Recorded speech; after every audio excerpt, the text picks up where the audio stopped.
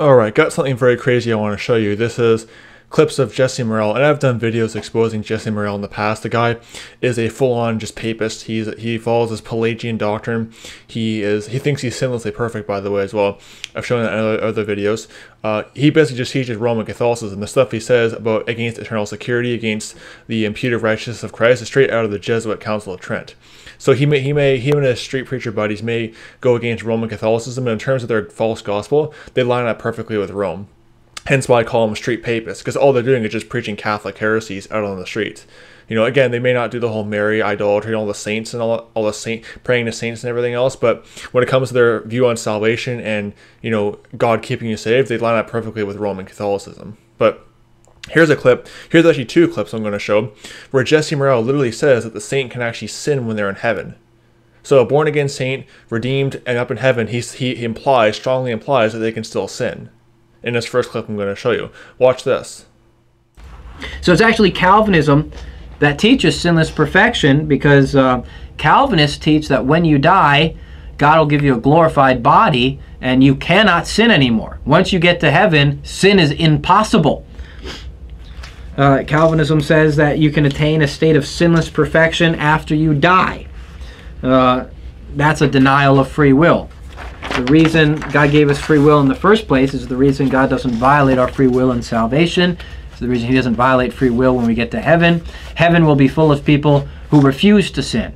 Heaven will be full of people who choose to love God. And that's what He wanted from the beginning. That's why He lets us go through this life of probation um, so we can form our own character to, uh, to become saints or to be sinners, to choose our path. And uh, those who choose to be sinners will go to hell, and those who choose to be saints will be fit for heaven.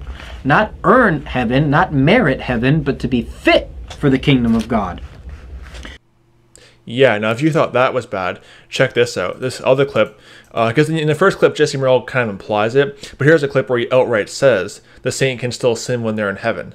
Okay, watch this. But Calvinists think that your current body is necessitating you to be sinful. And so a glorified body will necessitate you to be holy. Like R.C. Sproul said, you um, you can't stop sinning until you die and get a glorified body. It's straight Gnosticism. Gnostics say the body is sinful, and so you can't stop sinning until you get a new body. But they think once you get to heaven, it's impossible to sin. And that's false because the devil sinned in heaven. Satan sinned in heaven. You can sin in heaven. It's just people who get there are saints who refuse to sin while they were on earth. So of course they're going to refuse to sin when they're in heaven. I mean, that is just rank heresy right there. Uh, here are some scriptures, two quick scriptures sh- showing that the saint cannot sin when they're in heaven, and that this this heresy by Jesse Morrell, because it goes in line with this whole Pelagian doctrine that you have to continually maintain this this state of sinless perfection, even even now when you're in heaven, apparently you have to maintain this sinless perfection. So even when you get to heaven, you still got to maintain the sinless state. I guess you get kicked out if you don't maintain it or whatever. I mean, it's a bunch of, of rank heresy. But here's a, some two quick scriptures showing that he is dead wrong on this matter. Uh, first of all, in heaven, the saints are conformed to the image of Christ, uh, which, of course, you know, when you get raptured, the raptured, the body goes up, you're given an incorruptible body, and the saint in heaven is conformed to the image of Christ. Romans chapter 8, verse 29 to 30. For whom he did foreknow, he also did predestinate to be conformed to the image of his Son, that he might be the firstborn among many brethren. Moreover, whom he did predestinate, them he also called, and whom he, he called, them he also justified, and, and whom he justified, them he also glorified. Uh, if you're conformed to the image of the sinless resurrected Christ, uh, you're not going to be sinning up in heaven. You're not going to have that ability or desire to sin in heaven. It's a bunch of just, Pelag- just Pelagian nonsense from Jesse Morrell.